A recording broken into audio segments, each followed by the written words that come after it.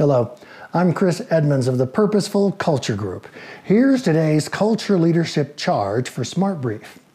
What if one of your highest performers began missing key meetings, having public screaming matches with peers and senior leaders, and throwing items around the work environment in fits of rage? How would the leaders of your organization respond today? Would they engage in prompt redirection, coaching the person to stop the tantrums and treat others respectfully no matter what the issue is? Or might they go the other direction? They'd ignore that toxic behavior because they're afraid of missing out on the production that person generates? Up to now, if you're the leaders of the NFL's Pittsburgh Steelers, you look the other way. Wide receiver Antonio Brown has done all those things and more over the past couple of seasons. Last month, Steelers head coach Mike Tomlin told his team that we'll tolerate it because of the performance on the field.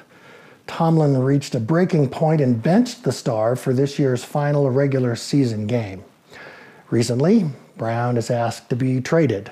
Will he behave respectfully on his next team? We'll soon see. Now, you and I have seen similar scenarios in our workplaces.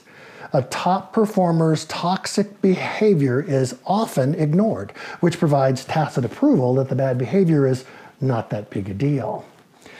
Allowing disrespectful behavior, bullying, etc., by any player in your organization has significant negative impact.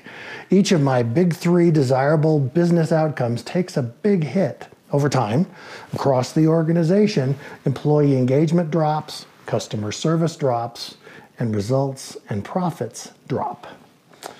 And when the toxic player is a senior leader, the negative impact is much, much greater. What should leaders do to nip this in the bud? Well, they have three options.